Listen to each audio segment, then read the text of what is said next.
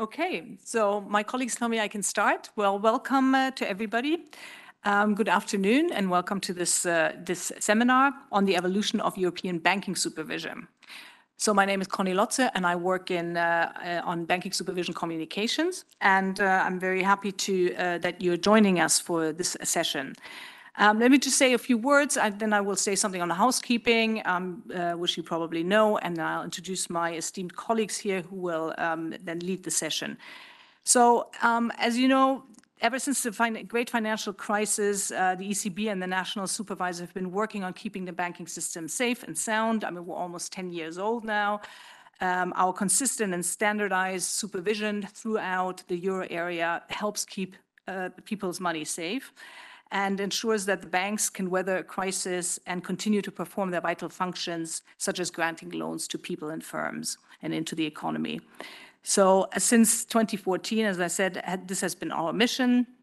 In the last decade, we have indeed weathered a few storms, and the banking uh, and the European banking sector has shown remarkable resilience. Uh, this underlines obviously the need for and the effectiveness of the enhanced regulatory and supervisory reforms that we have implemented. And our style of supervision has adapted to the, this ever-changing external environment uh, and that has allowed us to get through um, these uh, uh, difficult periods such as the COVID-19 pandemic and more recently also the Russian invasion of Ukraine. So over the next hour, my colleagues here on this panel and uh, will discuss uh, these issues with you and, and answer your questions and uh, I'm happy to take your comments. A couple of housekeeping rules before, um, uh, after the, the presentation, we will keep, uh, we will uh, go to your questions and your comments. We would encourage you to turn on your camera so we can see you because right now we're speaking sort of into a, a, a black hole here, but but that's okay for now um, because we will have this presentation by our uh, colleagues. If you have any technical problems, please write to host in the chat box and a member of our team will um, assist you right away. So, um, and one more last thing, uh, this seminar is uh, being recorded and will be published on our website uh, in the coming days. So now let's come to our speakers. Um, I'm very happy to have with me here Linette Field, who is the Director General of On-Site and Internal Model in, in Inspections, and Sofia Toscano Rico, who is Deputy Director General of Horizontal Line Supervision. So they will present to you the origins of a single supervisory mechanism, the evolution of supervisory our supervisory approach, uh, talk about the priorities, and a bit on and touch a bit on the uh, the bank situation in light of the uh, the March 2023 turmoil. So um, and then the second part, as I said, we will come to your comments and uh, uh, and questions. So now, um, without any further ado, I'm very happy to um, hand over to um, Linette and Sofia, and I think Linette will start the presentation, please.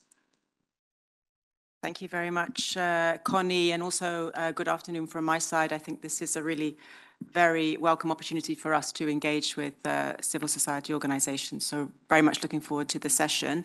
I believe uh, the colleagues should be able to see the slides. As Connie said, uh, Sofia and I will go through, you know, how banking supervision has evolved since the SSM was created and also a little bit about where we think it's heading.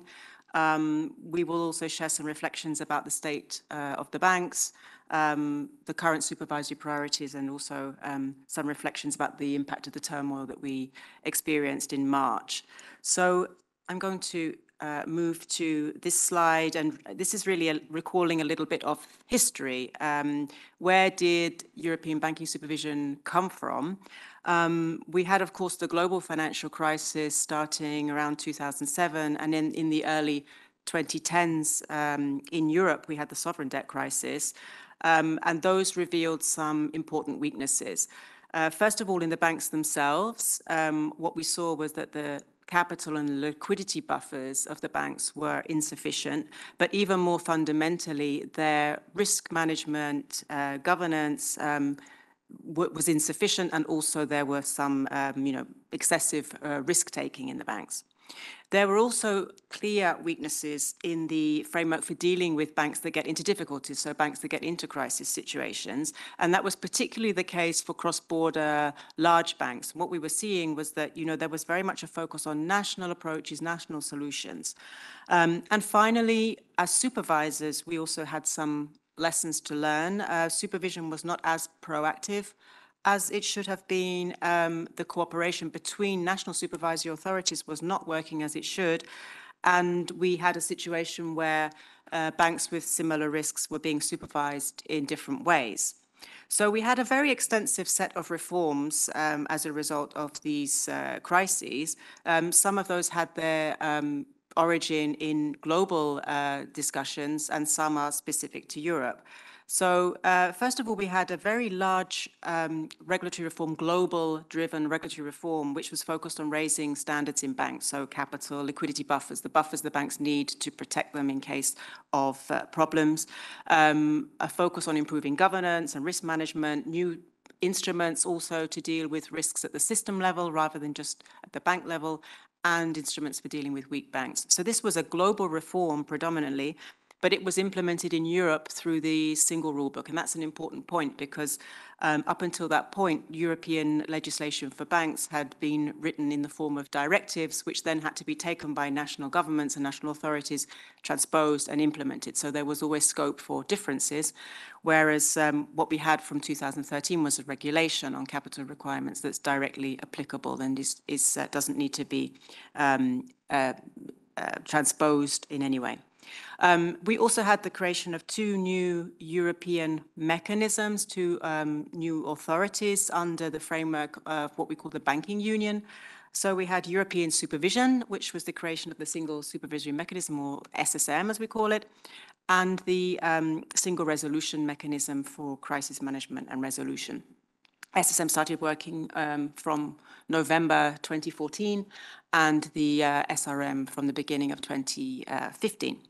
So if we then look at the SSM, you know, what is it and how does it work? Um, essentially, or, you know, in a nutshell, what it is, it, it's a banking supervision, supervision system. Uh, it covers the whole banking industry in the euro area countries, plus um, one country which has joined um, in what we call close cooperation, which is uh, a mechanism that allows um, EU countries, uh, which are not Euro countries, to join uh, the SSM. And it's actually one of the largest banking supervisory authorities in the world. It's a system, as I said, so it's a system of the ECB together with the national competent authorities. And we make a distinction between two types of banks. We have what we call, uh, or what the regulation calls significant institutions, which are the largest, uh, more sort of cross-border international banks, if you like. Um, and they, those are called significant institutions. Uh, there are currently 110 of those, and they are covering more than 80% of the banking assets uh, across the SSM. Those banks are supervised directly, um, and that's done through what we call joint supervisory teams. And those joint supervisory teams are led by the ECB and comprised of ECB and NCA members. Um, for the smaller banks, and there are around 2,000, uh, yeah, 2,000 of those, which is you know, a bit less than 20% of the overall banking assets in the system. These are still supervised directly by the national supervision authorities, or we call them also um, national competent authorities. So you might hear us refer to NCAs. That's that's what we're talking about, the national authorities. Um, and the ECB is playing then an oversight role for those smaller institutions. Of course, we also have some horizontal and support functions. So within the ECB, we have functions who are giving expertise to our supervisory teams on certain risks. We have on-site methodologies, um, on-site inspections and methodologies. Um, so we have uh, quite a lot of also horizontal functions there. So that's the SSM. What about the banking system? What's happened in the banking system um, since the creation of the SSM and since this um, regulatory reform, I think what you can see on this chart is clearly an uh, improvement in the resilience of the banks. If you look on the left-hand side, this is the capital buffers.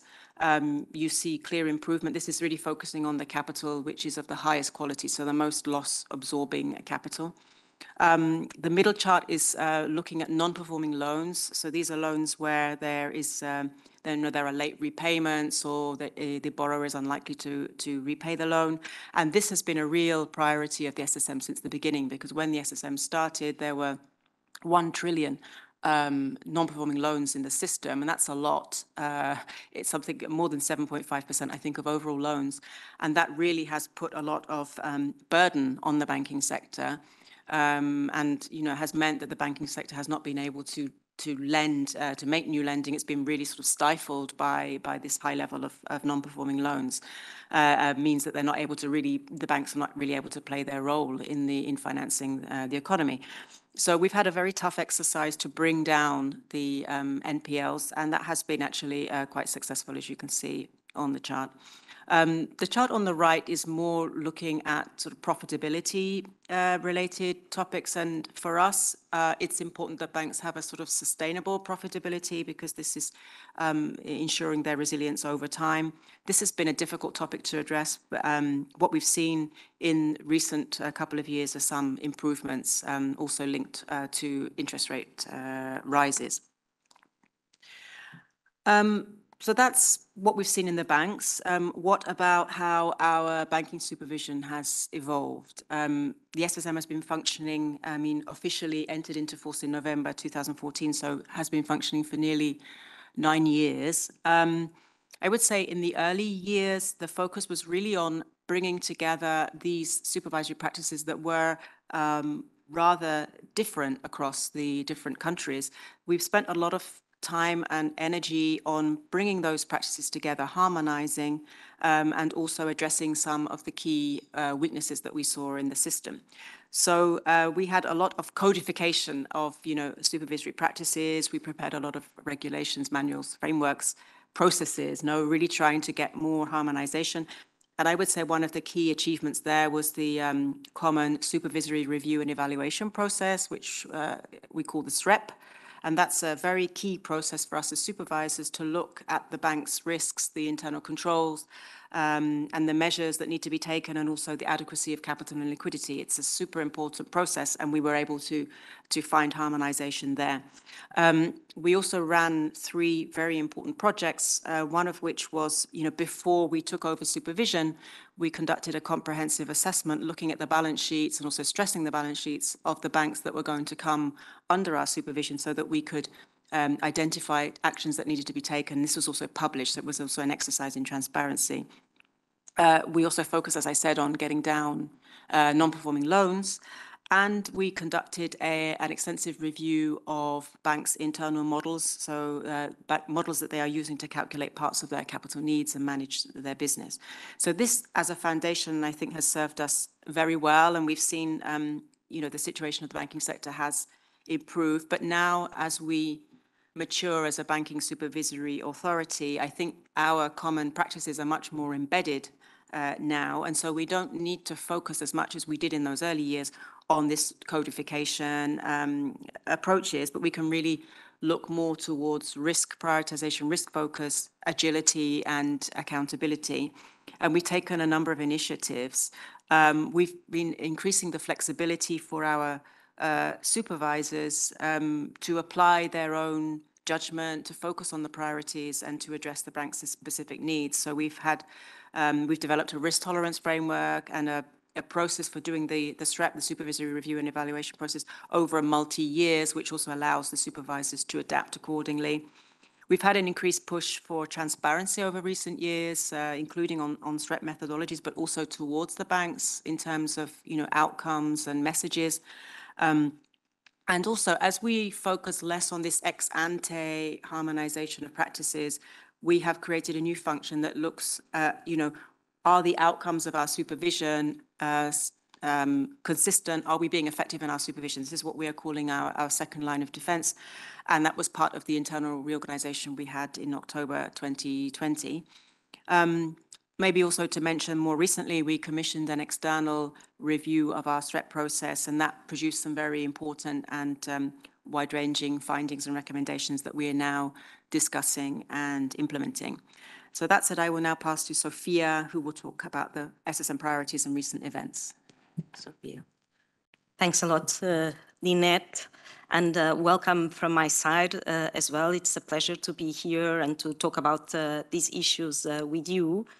Um, so Linette was mentioning that we um, we moved as an organization in terms of how we we, we conduct supervision into a much more risk-focused uh, uh, and identification of priorities is a key uh, element of being able to be to be risk-focused.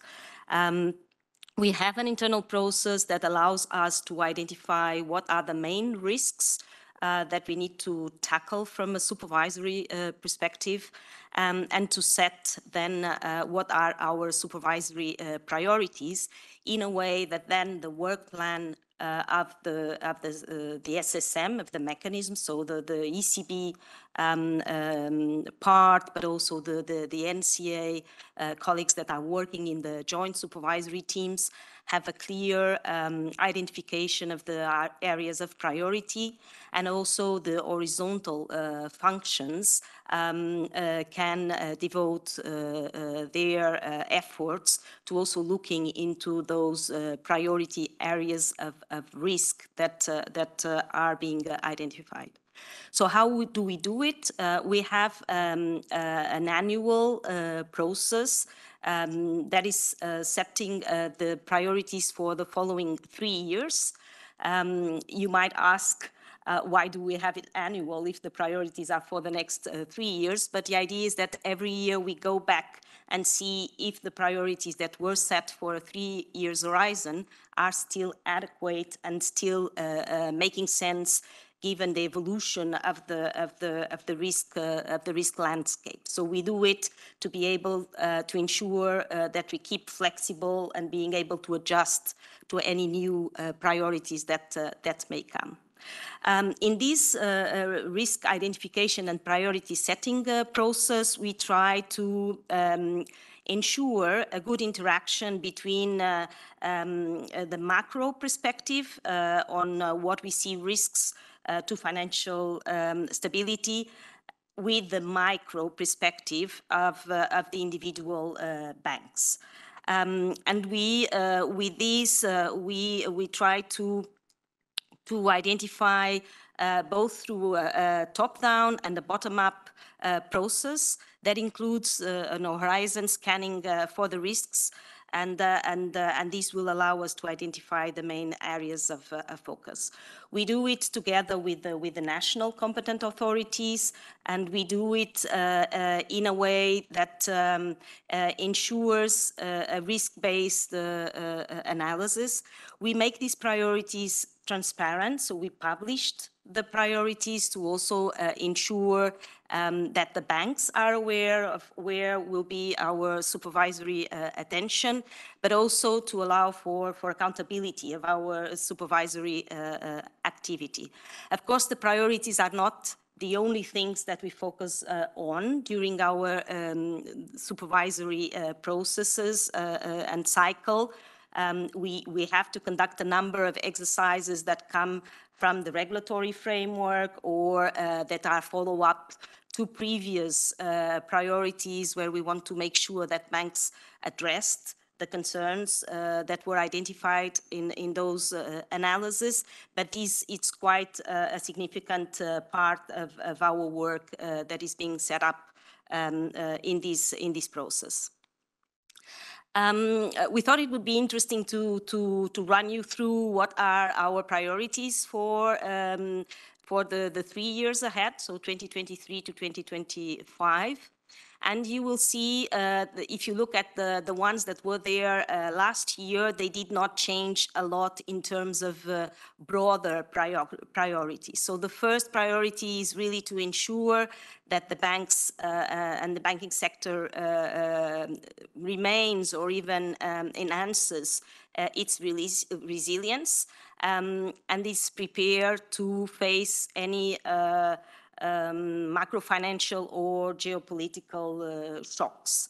Um, as you know, where we are coming from the COVID-19 uh, uh, crisis, then uh, we had, as, as already mentioned, uh, the invasion of uh, Ukraine by, by Russia, and we had the market uh, turmoil of, of, March. So we have had a number of um, turbulence in the, in the, in the recent years, and making sure that the banks are re resilient to, to, to be able to face uh, those situations is being one of our key priorities. So we continue to focus on uh, credit risk uh, management, namely um, with particular attention on most uh, vulnerable uh, sectors, um, that were uh, until uh, very recently the energy intensive uh, sectors, also now looking more into residential real estate, commercial real estate. Uh, but also we are looking with particular attention to uh, the funding sources um, uh, of banks and to their, to their funding plans um, to ensure that these are diversified and will be able to uh, handle uh, the phasing out of the TLTRO, so the monetary policy normalization as well.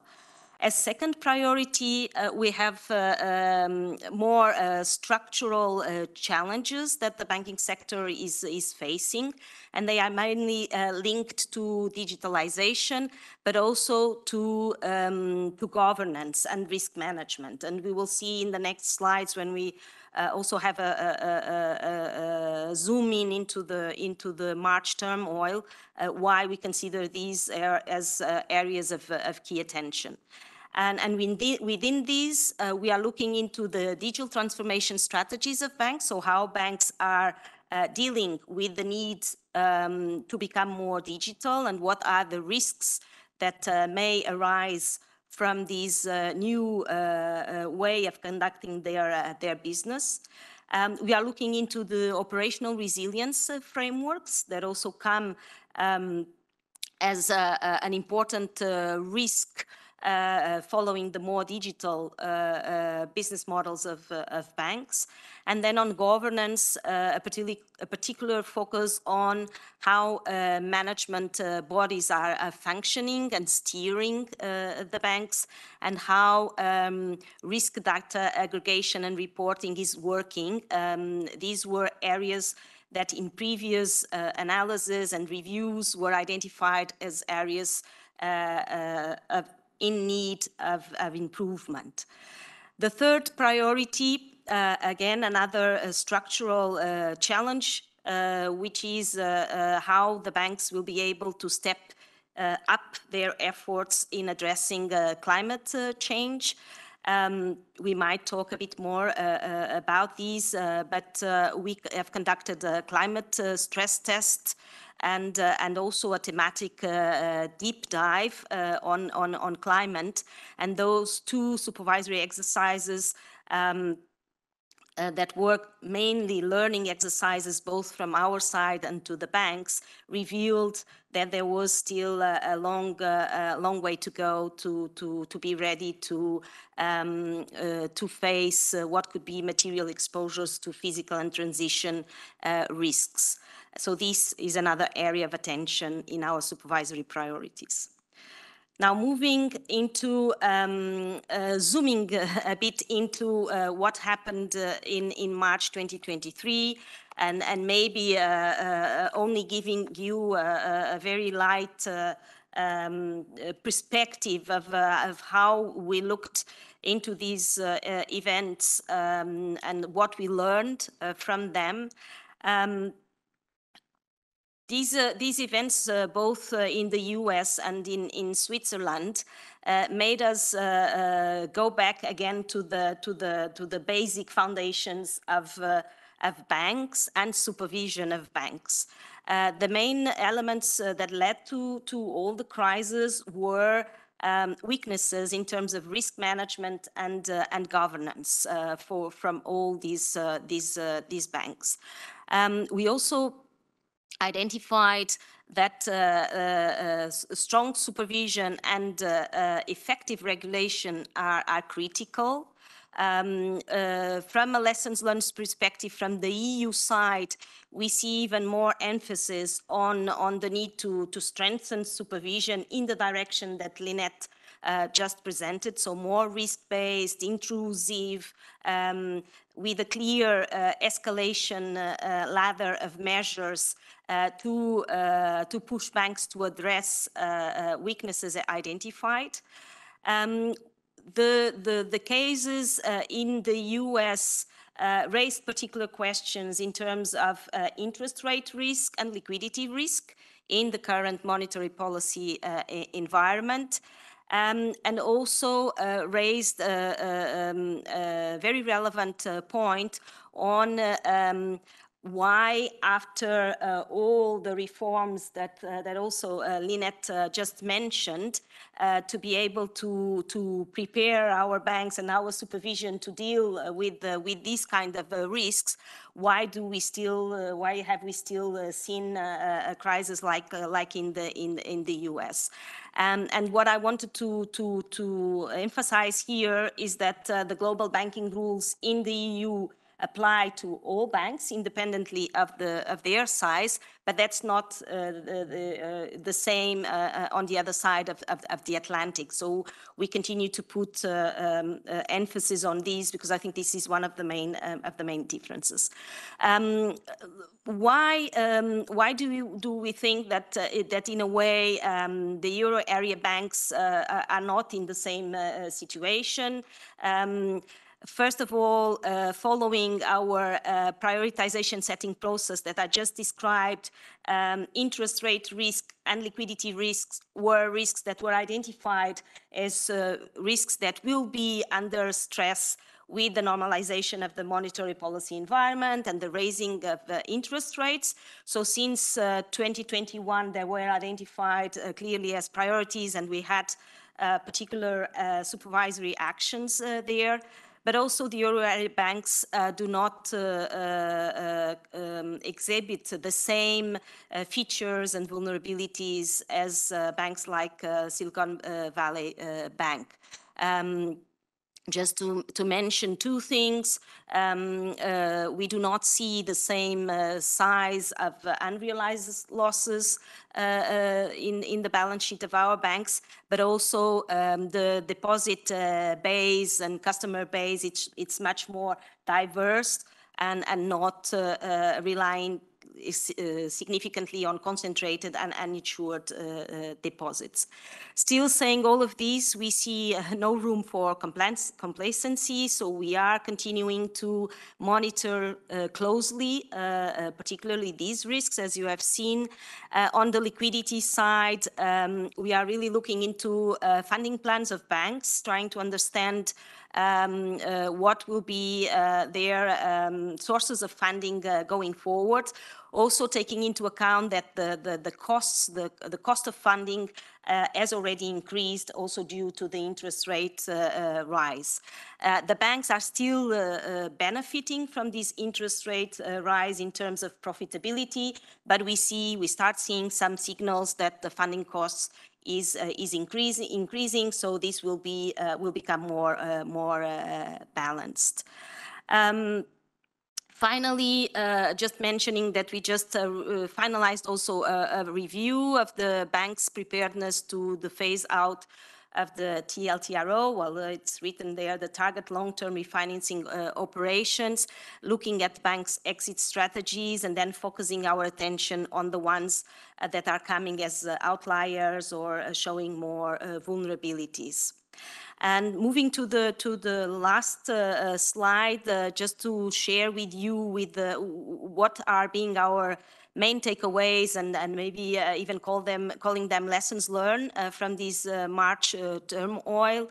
Um, we see uh, uh, that the, the, the, main lessons come more for supervisors rather than, than, than on the regulation side. Uh, of course, the, the, scope of application of a regulation may be an issue uh, in other jurisdictions, uh, uh but not, uh, not um, on our side. So we see that the lessons are, are more for us as supervisors um, and a lot in line with what we were, we were already trying to, to implement and it was reinforced by the independent uh, experts that Linette uh, mentioned that were also assessing our main supervisory and uh, review evaluation process, uh, which are uh, we need to continue having intrusive supervision, uh, identifying the findings, but then being able to escalate and take timely measures to ensure that the banks take timely remedial actions. Um, We are also placing a, a lot of efforts in the in the in the areas of governance and risk management, as as just uh, as just mentioned. We continue to see. I think this is one of the parallelisms with the 2008 uh, global financial crisis, is that the issues are coming again from. Uh, from uh, weaknesses in governance and risk management. So I think this will be areas that we will always need to, to, to focus uh, uh, as supervisors.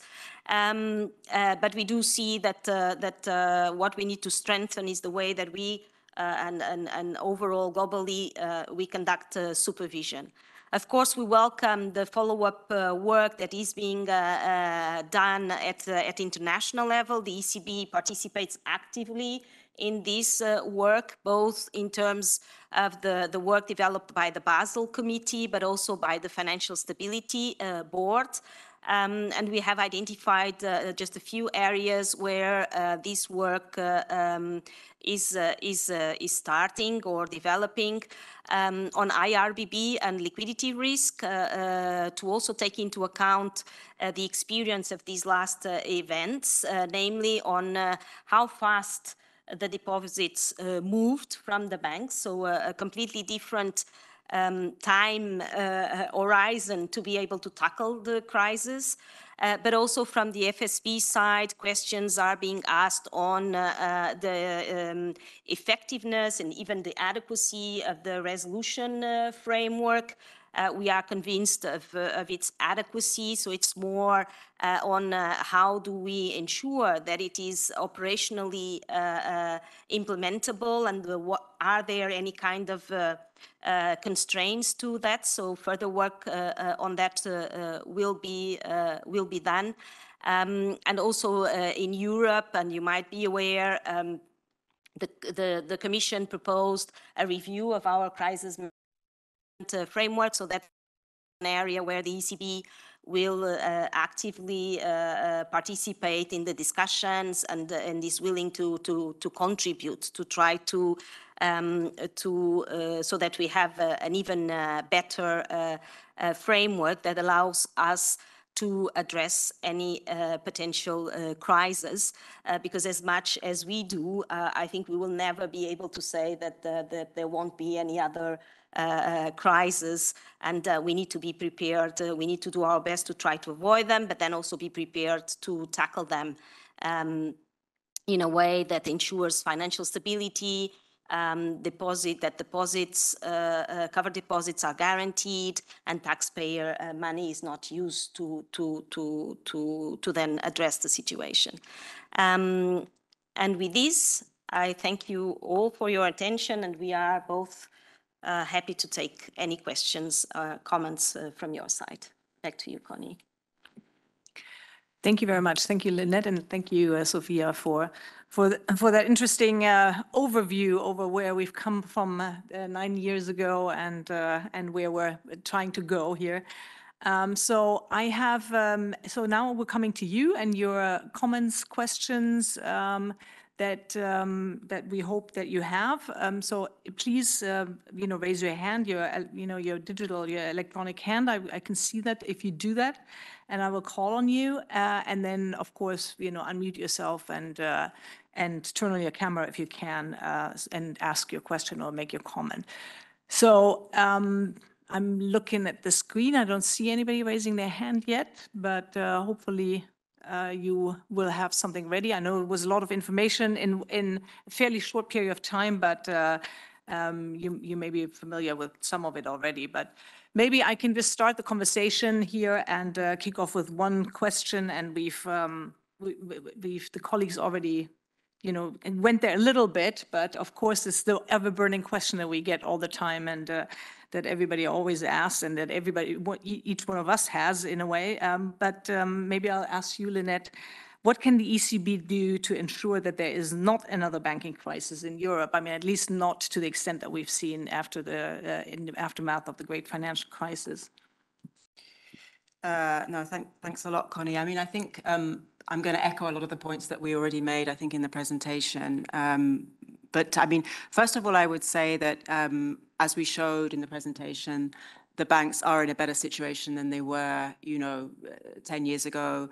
um, in terms of, you know, capital, liquidity, um, asset quality, but also governance and risk management.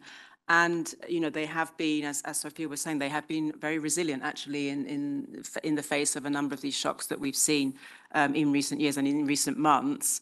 Um, and that is, you know, thanks to a strong regulatory framework, um, which we have in place, but also thanks to the hard work that our supervisors have done to really push the banks. I mean, our supervisors on the ground are there every day, you know, really uh, pushing the banks to to move ahead, to take action. And I think this is also, uh, you know, speaks to the success that uh, we have had in improving the resilience of the banks so far. But um, supervisors by nature are never um, um, complacent. I mean, and um, we are always looking, you know, what could be coming over the horizon, what could be the risks that are coming. Um, and you know, if you ask, what do we, what should we do as banking supervisors?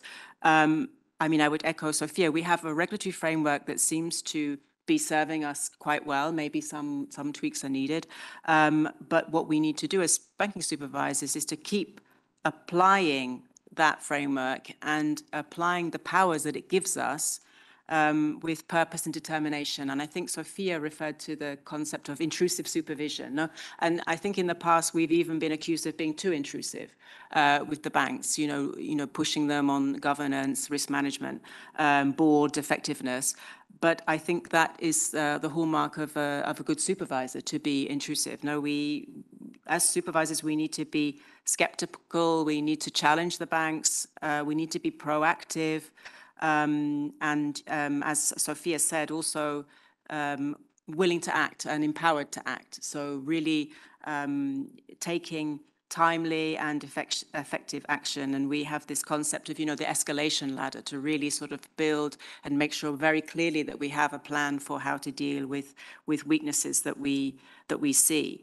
And um, you know, even if we don't have banks like uh, Silicon Valley Bank, as Sofia already mentioned, and this was also the US authorities did some um, you know, soul searching as a result of the of what happened in March, and actually some really critical self-reflection. And one of their conclusions also was that you need very strong supervision. You need to follow up. You need to be proactive as a supervisor. And this is an area where they felt themselves they had perhaps not, not gone far enough. So I think that is also pushing us in, in that same direction.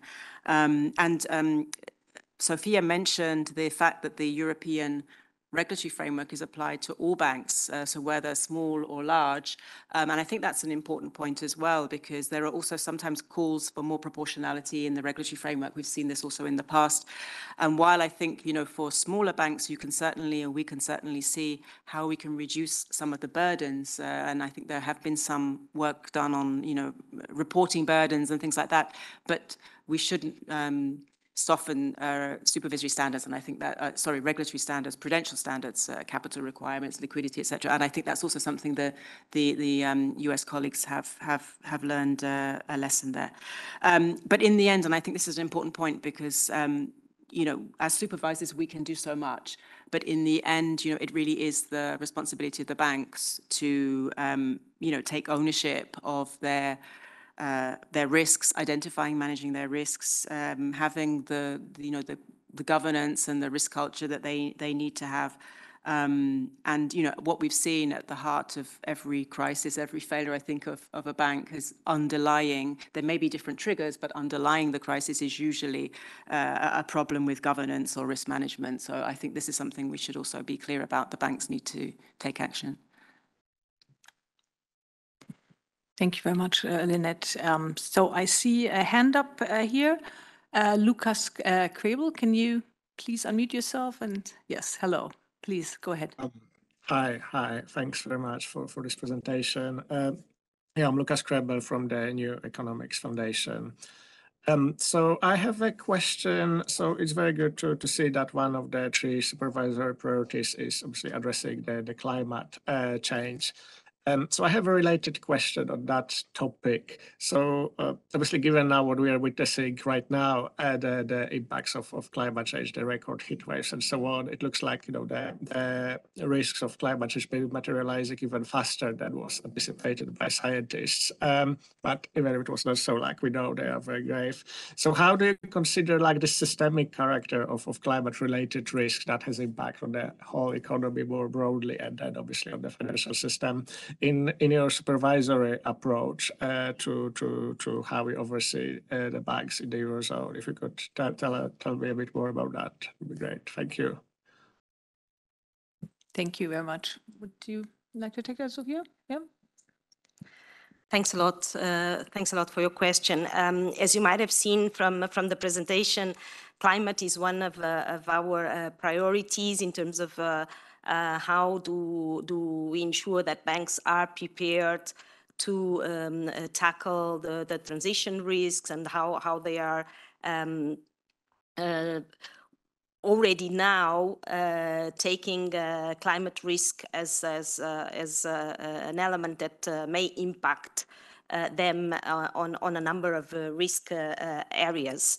Um, we have done, uh, uh, as I mentioned as well, um, a climate uh, stress test already in 2022. Um, and we did also a thematic review to look into how banks were um, uh, able to have first uh, relevant uh, data and how were they then able to um, to manage uh, uh, the the risks uh, that come from from from from climate. And um, on both these exercises, so the stress test was the first time we did an exercise. it was really a learning exercise, both from the bank side and from the for the supervisors as well.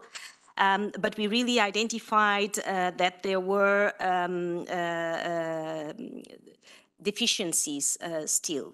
Um, from at that time, we published what would be our expectations. So what would be the expectations we have as supervisors that banks uh, um, uh, uh, evolve and, and, need to, to tackle.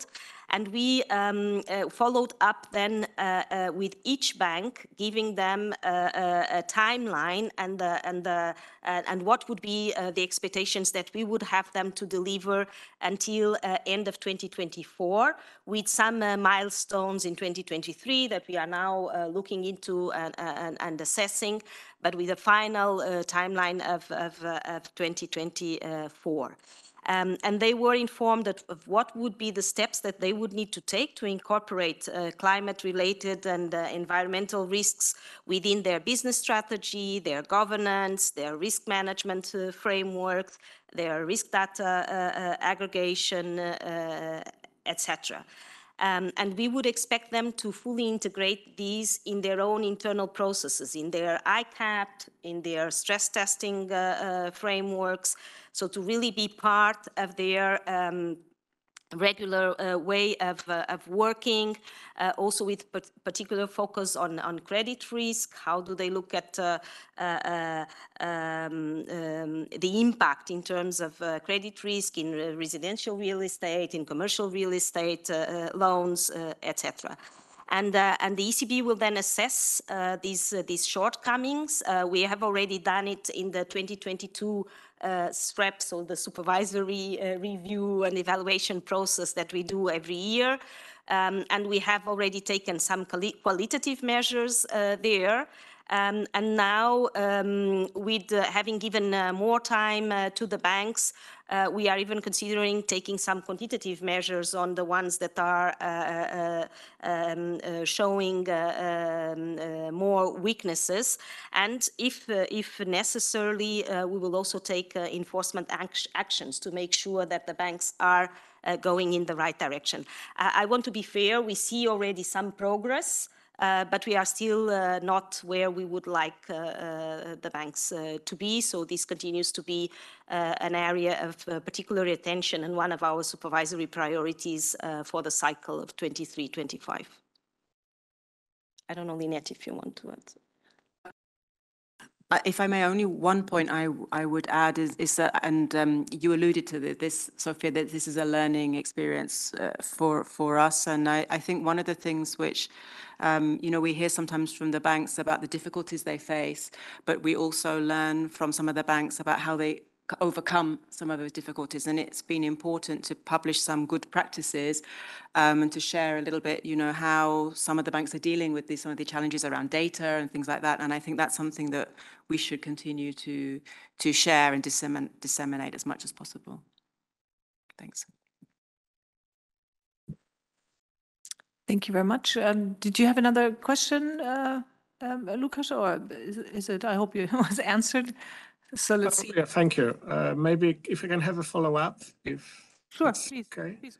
Yeah, Yeah, thanks for those answers. Um, yeah, so uh, a follow-up question is, um, so h- how do you then uh, also consider, you know, given that, you know, the bank's activities make make some contribution to climate change themselves, like, you know, the type of activities they finance and they do not finance, and, you know, having in the view the European climate goals and uh, the view for transition to net zero and, you know, EU climate law themselves committed to Paris Agreement. So how are you considering those that you know the banks to meet uh, your expectations? To what extent they are aligned with with those goals? Which, if they do align with them, obviously that will have some impact on reducing systemic risk in the longer term by having you know less uh, financing of politic activities. So to what extent you are considering you know this interplay between uh, uh, supervision and what the banks do and the actual impacts on the climate and not just pure risks towards banks?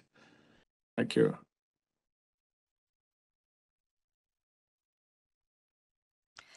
Um, well, I, I would like to, to stress that uh, as supervisors and as prudential supervisors, we are more we are uh, mainly looking into into into the risks. No, the risks.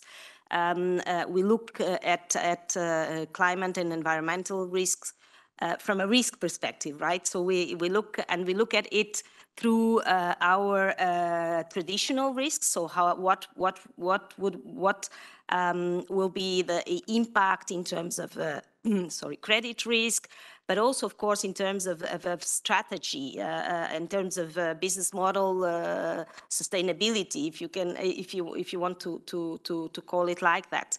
Um, so we do have this more broader perspective, but we always come through the angle of the of the risks of the of uh, potential for for uh, the soundness and safety uh, uh, uh, of the of the banks. And this is always the perspective that we take when when we look into climate and uh, environmental uh, uh, risks. And if you look at the way um, that we are uh, uh, acting, what we are uh, pushing uh, the banks uh, to is uh, first that they are able to identify the risks and that they are able to then uh, monitor and manage those uh, those risks. Um, uh, so I think this will this needs to be also uh, clear. There are other uh, institutions that are taking more uh, uh, more more political view, etc. From our side, we are really looking into it from a prudential perspective.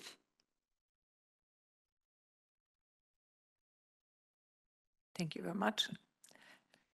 Let's see, um, I have, we have another question here from Alexander Simic. Alexander, please, would you uh, unmute yourself? You can turn your camera on if you can. Yes, thank you. Thank you for the presentation. I'm uh, Alexander Simic from the Sustainable Finance Lab in the Netherlands. Uh, I have two questions. Uh, so one is the, the follow-up to the previous one. Uh, uh, you mentioned that uh, enforcement action might be taken against banks that are not going in, in the right direction. So I'm wondering uh, if you could be a bit more concrete as to um, what this action is. And the second question is, uh, uh, we talked about climate-related financial risks, but I'm curious uh, uh, as to how the ECB looks at nature-related financial risks. Thank you. I could not hear well the last part. Can you just repeat the uh, last part of your second question? I Oh, think we didn't catch that. Sorry, of course. Yes. So, so I'm curious uh, uh, about nature-related financial risks. So, so this is a a, a bit of a, a broader term than, than only climate, and and these uh, uh, two groups of risks uh, um, interact. Um, so, uh, I'm curious uh, as to how you, how you see uh, this group of, of of risks. Thank you. Thanks a lot. Um, so on the first uh, on the first uh, question, um, what I would stress is that uh, uh, when uh, when looking into risks, uh, we look at all our supervisory tools to be able to push banks to act and to remediate weaknesses that we identify in our supervisory work. So we look at the full toolkit uh, where, uh, of course, enforcement and sanctions are uh, one of the tools that we have uh, uh, available to, to, to act. Uh, so when mentioning um, that, what I wanted to say is that we see climate and environmental risks, so a bit also answering now already your second question is not only climate, we look at anything that could be materially impacting um, uh, the, the, the, the, the, business of, of, of the banks. And uh, we, uh, we then look at our toolkit and, and see and identify what are the best uh, supervisory measures to achieve the supervisory objectives uh, that we uh, that we have. And, and those could be, um, uh, depending on uh, the, where we are, uh, also in our escalation ladder, as, as Linette already alluded to. So we do have an approach that starts with the supervisory dialogue with the bank when we identify um, uh, issues, concerns, vulnerabilities. Uh, we might then follow with uh, recommendations or very clear sharing of expectations so the banks know what what the, they need to do, what we expect them to, to, to do. And then we start an escalation ladder if we see that, uh, that there are no uh, actions or adequate actions being taken by uh, by by the banks. And these could uh, could be of uh, very different uh, natures. We could have qualitative measures, quantitative measures that could be um, pillar two in, in pillar two requirements or even uh, enforcement and, uh, and, uh, and, and sanctions. So the adequacy of the measure, of the supervisory measure to be adopted depends on the case-by-case -case assessment of the situation. Uh, but the full toolkit is available and for, for the impact uh, uh, of climate risk and the way the banks manage these risks, the full supervisory toolkit is available for us to, to then act if, if necessary. And then uh, again, uh, um, just to stress, uh, we look at uh, risks, risks that are material, uh, and we see climate and environmental risks uh, more broadly Uh, as being uh, uh, as being um, potentially material. So the banks need to look into into those and to any other that could be material depending on the business model of, of, of each of of the bank, and this will be an assessment uh, that needs to be conducted by by our uh, joint supervisory teams, but with the support uh, both from the uh, horizontal off-site supervision and the horizontal on-site uh, supervision as well. Thank you very much. Um, do you have a follow-up by any chance, Alexander, or is it, um, or I presume your questions? No, no, I'm, I'm happy with the response. All Thank right, you. all right, thank you very much. Uh, I don't see any uh, other questions, um, any other comments, questions from, from you? Don't see anything there. Um, don't know if you want to, uh, wanted to add anything or, um, because if you, if there are no more burning questions here, I mean, we would uh, come to conclusion. I mean, we have a few minutes left if there's anybody who still has a last minute question, but, um, but if not, then um, maybe we'll, we'll conclude here. Um, because, oh, sorry, now here we have a last minute question. So Clarice Murphy, please. Uh, Yes, hi. Um, Hi. Thank you for um, giving me some time for the question. So I'm Clarice Murphy from Reclaim Finance, and um, I just had a question about um, uh, stress tests. And um, I mean, the as you were saying, like most of the work you've been doing has been quite uh, like it's the learning curve. You are kind of learning along the way of what works and what doesn't quite work. Um, and there's been kind of some studies lately on how uh, the climate scenarios are being considered for the stress test or um, usually quite poor, um, or at least don't really reflect the reality of um, um, climate change and the um, the real consequences that it will have. So I was thinking, how do you take those um, into account and how are you kind of reviewing your stress tests and um, yeah, kind of this approach to this? Thank you. Thanks a lot, uh, Clarissa, for, for, for the question. I, I think it's it's quite an important question. Um, the adequacy of the of the scenarios in the in a stress test are are, are, are critical. No, so um, just to to to to clarify, I think it's clear. But um, when I mentioned the climate uh, uh, risk stress test, this is a very specific uh, one. So we conduct also um, a general uh, uh, uh, stress test uh, um, uh, every two years together with the with the, the, with the European Banking Authority, with the EBA. Um, uh, they have a sample of banks. We then include also the remaining SSM banks, and and these stress tests are it's much broader not than than only than only climate. And this year stress tests, we will be publishing the results uh, uh, later this month, 28th uh, of, of, of, July. And, um, and the scenarios were quite uh, severe from, uh, from an overall perspective.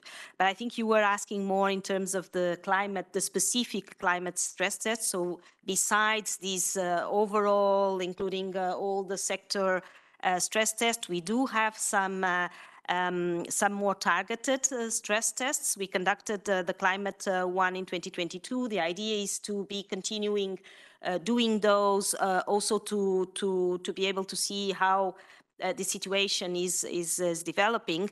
And of course, the scenarios will need to be adapted as, as also the, the, um, um the, the situation is evolving. no? Um, the scenarios are usually taking into account uh, uh, uh analysis from uh, from uh, organizations that are also looking particularly into how uh, climate is is is evolving. So I would expect, and the stress test is supposed to have quite severe scenarios to really test the ability of the banks to um, um, to undergo these uh, crisis events, these impactful uh, uh, events, but also to identify where could be uh, weaknesses and try to address them at an early stage. So the, the, the stress test uh, um, uh, gives us uh, a lot of information that also allows us then to tackle uh, the, the, the, the, situations, both from a, from uh, do we need uh, to to address uh, anything in terms of capital? Or is it should it be through qualitative measures? Again we have again the the toolkit the, the, the the overall tool, toolkit open. So i would expect that the scenarios are still plausible but quite severe scenarios for for any stress test that that is conducted um, from our from our side